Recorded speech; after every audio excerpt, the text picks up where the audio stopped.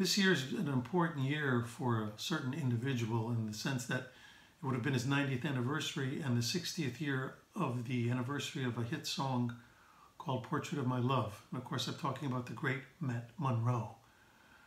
I first learned about Matt, I think, when I was a teenager and saw the movie From Russia with Love. And after the movie, thinking, who sang that song? Who is that guy? And of course, I found out soon enough that he was one of the great, great crooners of all time, right along there with Sinatra and Tony Bennett and Johnny Mathis and all the great singers of, of, of my era and, and uh, just one of the great singers that I, I admired. And so I was fortunate enough to have met his daughter, met his son, not fortunate enough to have met Matt himself, but all I could tell you is that his music has certainly been a big part of the soundtrack of my life.